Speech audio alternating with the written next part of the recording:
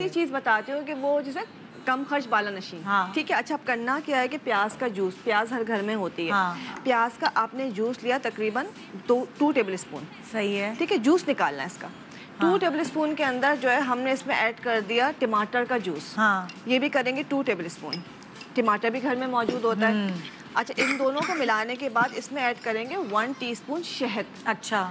अच्छा ये इनका एक बड़ा अच्छा सा सिरम या मिक्सचर बन गया। हाँ। ठीक अब इनको करना क्या इस मिक्सचर को? आ, सबा आप भी गौर से सुनती रहिएगा। अच्छा ये इसलिए कि पूरा दिन घर का काम करती है इनके पास टाइम तो है नहीं।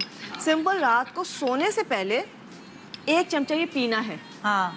ये पीना है पीने से पूरे जिस्म के जो बॉडी की जो झुर्रियाँ आपके ना हाथों पे आ रही हैं या बॉडी के ऊपर आ रही हैं या फेस के ऊपर आ रही है उसके लिए ये। अच्छा साबा तुम्हारे पास शहद की बोतल नहीं है तो नबीला से मांग लेना वो मुझसे लेके गई थी। अच्छा अच्छा मैं ले लूँगी हाँ मेरे वो पूरी बोतल है उसके पास उसको खाली एक दो चम्मच चाहिए। हाँ, ले लेना उससे फिर मुझे आधी ले लूँगी आधी बोतल ले लूँगी मैं हाँ फिर बाकी बचा बचा मुझे दे देना। हाँ। ठीक है इसको ये इनको पीना भी अच्छा दूसरा ये इनको लगाना भी है। टमाटर सॉरी प्याज का जूस प्याज का जूस शहद।